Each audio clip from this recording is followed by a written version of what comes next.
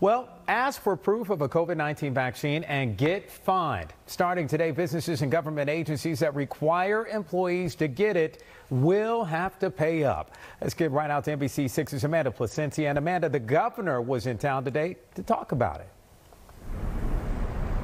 Yes, Jawan, that's exactly right. And as you said, if you are a local government here in Florida and you require your employees to show proof of the COVID vaccine to keep their jobs, well, starting today, you could face some hefty fines from the state. Get vaccinated or lose your job? Starting on Thursday, local governments in Florida could be fined $5,000 for each employee that is forced to get the vaccine. It stems from a recent law signed by Governor DeSantis, but how will this be enforced? That's still unclear. They'll be announcing that. I mean, hopefully it doesn't come to that, but uh, but but bottom line is is uh, you know firing somebody will will result in, in those kind of consequences. At a news conference at Broward Health Medical Center on Thursday, Governor DeSantis also cited recent data that shows COVID hospital admissions going down in Florida.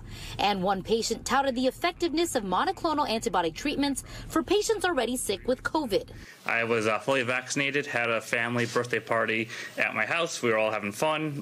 My uh, nephew, the one who actually had it, we all ended up getting uh, sick, so I ended up calling Broward Health. They recommended I get the monoclonal treatment. I then ended up coming in here inpatient for the treatment, and about 24 hours later, I was almost relatively symptom free. As Florida was the epicenter of COVID this summer, early treatment and preventative vaccines are encouraged by doctors. Now, what about COVID vaccine incentive programs? Broward County announced that they will be giving employees $500 if they get the COVID vaccine.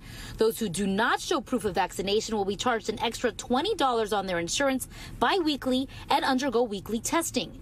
In Miami Dade County, new government employees would have to show proof of vaccination. Existing employees have the option of showing their vaccine card or getting weekly testing.